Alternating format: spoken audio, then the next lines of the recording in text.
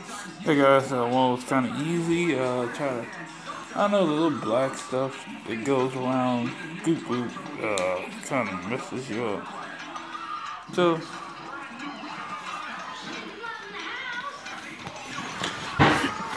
uh, decided to go second